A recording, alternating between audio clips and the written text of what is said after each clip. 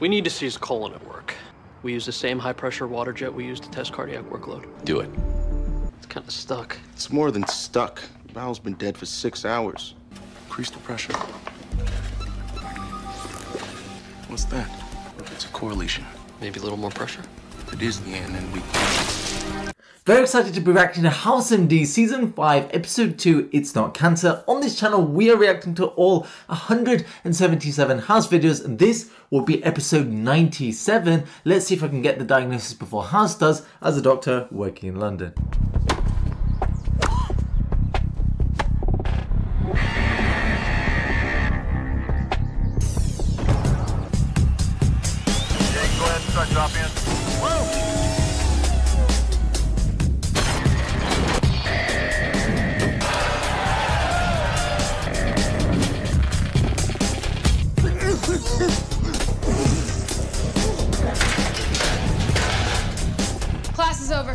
You have a corneal transplant five years ago? Yes? Every other patient who had a transplanted organ from that donor is either dead or dying. One living, one almost dead, four fully dead. And in each case, serious complications came on suddenly and without warning. It's cancer. Four autopsies and about a thousand lab tests say it's not cancer. Taub and Kutner check out the donor. Find out which cancer would have killed him. He's been dead for four years. 97 episodes into the series and they're still finding completely new cases. No wonder House is the best medical drama. So what do we know so far? Some poor guy was parted with his head in an industrial accident four years ago and he was used for spare parts, giving all six organ donations. All of the recipients are now getting unwell within eight months of each other with sudden onset severe symptoms in other organs than the one transplanted, and this started around three years after the original transplant. Considering how long he's been unalived for, hopefully they won't be digging a body up again. I'm going to put my Sherlock hat on now and tell you there are a few things we can deduce from this constellation of symptoms. Firstly, we can assume that they're all taking anti-rejection meds as it's basically impossible that all of them would stop at the same time, which makes autoimmune unlikely since they'd pretty much be on the treatment anyway. Secondly, the only patient who didn't get sick was the one who got a corneal transplant and there's something special about that, it's bloodless. The cornea has to be like that as we wouldn't be able to see very well if there were blood vessels blocking our vision. It also means though that antibiotics given by mouth have all of zero chance of reaching the cornea, which is why we give drops directly for any infection there. That could mean that whatever it was that killed our first patient was transmitted via blood. That leaves infection, cancers, and possibly toxins as causes, but let's get more clues. You can check out the patient's eye. Where it is, you're into monster trucks. Are you checking me out? Her right eye's failing. We need to remove the eye. It's her only working eye. Problem's not in her eye, it's in her head. We're gonna have to remove your whole head. Hallucination.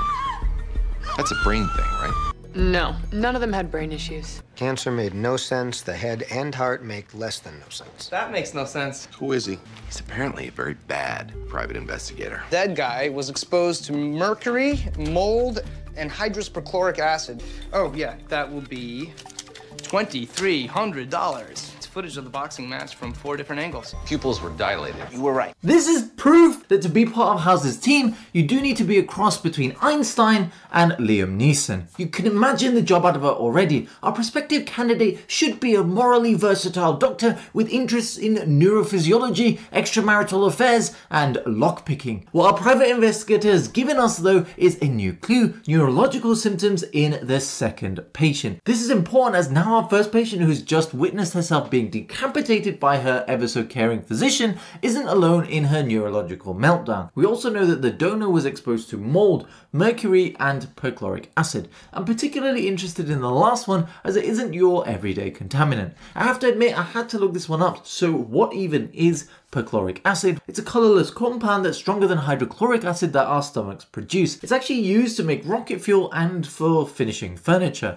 At room temperatures it's generally safe but can be dangerous when heated. It doesn't quite explain why our donor's organs have gone from lifesaver to kill switch but maybe it could be his occupation that explains it. If he worked with furniture then he could have been exposed to lead paint which can cause neurological symptoms like hallucinations, memory loss and psychosis. But then so can mercury poisoning and that was already a contaminant. The title is It's Not Cancer though, so I'm wondering about a hybrid cancer, not cancer condition that he could have had like Langerhans cell histiocytosis that could have caused the symptoms. Patients with the condition are more likely to get actual cancer after being transplanted too. It fits pretty well and that has to be my first diagnostic guess. Does that PI guy mean we don't have to break into people's homes anymore? He's better than we are. Costs more. And biopsy the brain. We cut out a piece of it, good chance she's a vegetable. Do we have another patient who's almost finished with all their living? It's okay to stab his brain because he's dead if you don't.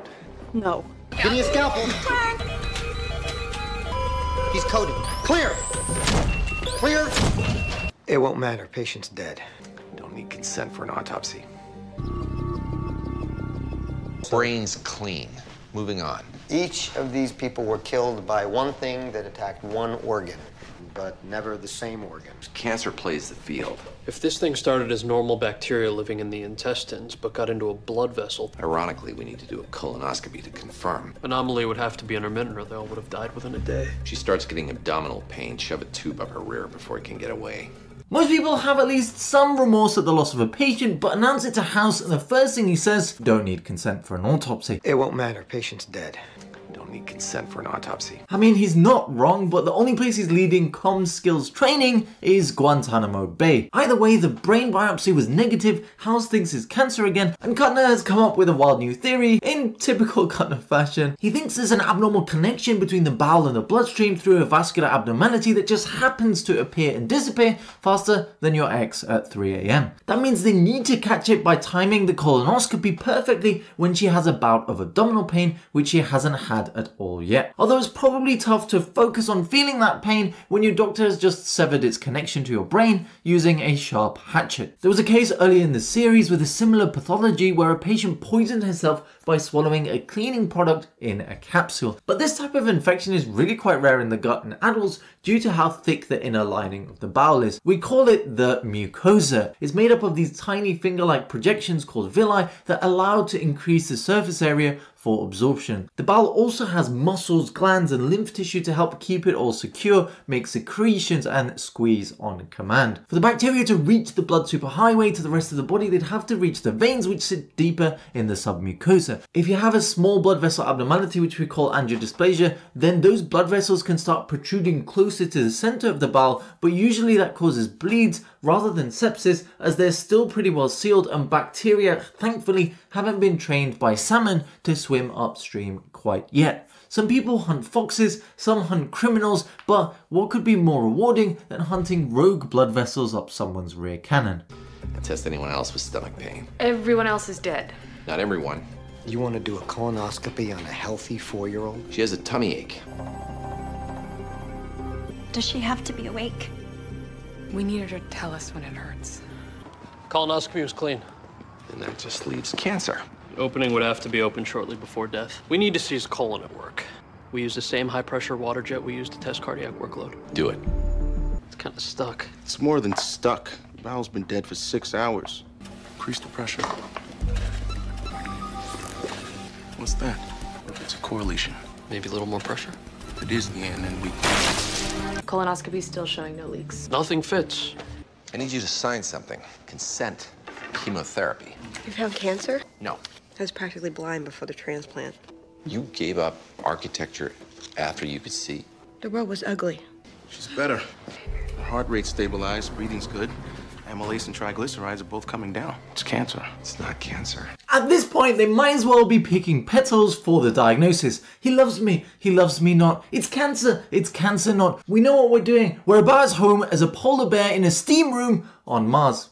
Not. The colon experiment had an explosive ending, House has started chemotherapy on nothing more than gut feeling, and now the patient got better from chemo but doesn't have cancer. If there are any more twists, I'm gonna need some lemon juice, which is a natural remedy for travel sickness, by the way. Don't tell Big Pharma we know. What we do know now though is whatever this mysterious cancer not cancer diagnosis is, it responds to chemotherapy. You know what would respond to chemotherapy? Langerhans cell histiocytosis, which was my first diagnostic guess. There are a few other conditions though, as that's right, chemo isn't just for cancer. Autoimmune conditions like lupus, vasculitis, rheumatoid arthritis can improve with chemotherapy as well. Benign blood disorders like aplastic anemia or polycythemia rubra vera, where the blood gets too thick, could also improve with chemo. The difficult part of all that is none of them would be transmissible via a transplant. Also keep in mind that in the modern day, all transplant donors are meticulously screened for transmissible conditions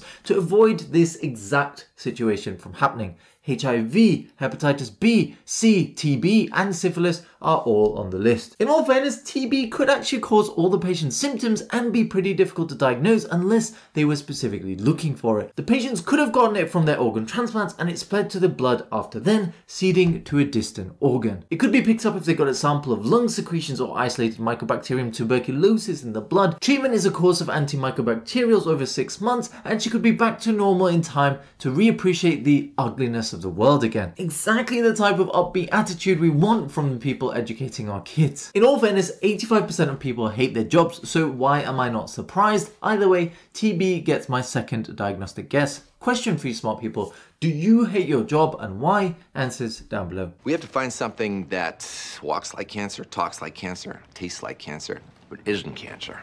Something's missing. I need an epiphany. You have a way of thinking about things. It's sloppy, it's undisciplined, it's not very linear. Compliments mine. The next time you knock, I'm not answering. Friends are friends, and everything else is everything else. If it's not, nothing is nothing. And anything can be anything. The world is not as ugly as she thinks it is. Did House just find a new Wilson in a private investigator? Another friend for him to pay by the hour. Seems like he once again got bang for his buck though, as we have the epiphany moment. Now we know early in the episode our patient told House that she expected the world to be beautiful after getting a cornea transplant, but she was not pleasantly surprised. Of course, having always been blind, she has nothing to compare her new vision to. For all we know, she could be seeing the world as a Picasso painting. And in fact, that is likely. You see, when someone's lost vision for a long time and it's suddenly restored, the brain isn't ready for receiving all of that incoming light that it's about to get. It has no idea how to process it and it's likely to be a swirl of excessive brightness like you were walking out into the sun with dilated pupils from a dark room. The evidence shows that the earlier the blindness was experienced, then the more likely this mishmashed picture is to show up and it frequently doesn't improve much. House didn't just have an epiphany for an expected symptom though, so he must be onto something else. Maybe she has MS which was triggered by the eye transplant and is attacking her optic nerve, but she had no idea because that's all she's ever known. It could technically cause all her other symptoms, although her immunosuppression medicines should make it better, and it has nothing to do with cancer, so it doesn't quite fit. What if it's a paraneoplastic autoimmune condition associated with lung cancer though? The antibodies could have been wrecking the optic nerve and the cancer was there elsewhere, but far away from where the symptoms were experienced. That does fit better and has to be my final diagnostic guess. We are locked in. Brain, but not brain. To find the anomaly, I need to chop off the top of her head. Cancer stem cells are real. They explain everything. They floated around, they landed on an organ, got bathed in cytokines. They looked as if they belonged, but they weren't doing their jobs. And when they were really needed, boom, chemo shrunk them. She's crashing!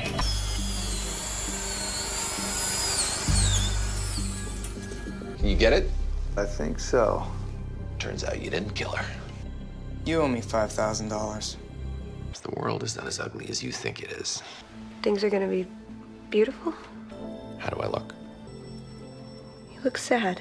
The tables have turned as for once it's House that's the victim of the brutality. I know he's cold and generally quite hard to love, but for the first time I really feel bad for him. It's like he was ice skating over piranha infested waters on thin ice, named Wilson. He took just one stride too many and is sinking with just a life raft that's costing him about $5,000 an hour. The thing is, both Cameron and Cuddy have reached out to him over the series, but he always pushes them away. Turns out the diagnosis was actually cancer, but an aggressive, undifferentiated kind that is different to the paraneoplastic syndrome that I suggested, but I was really close. In all fairness, the fact that I got this wrong when the title literally has the diagnosis in it means I probably need to go back to med school. Either way, brilliant episode. I'd say 8 out of 10 entertainment, 5 out of 10 accuracy as there's no way the tumor would have gotten to the part of her brain that controls vision and grew enough to affect it by the time she could see, especially as the type of transplant she got was without a blood supply, so the cancer cells would have no way of entering the bloodstream.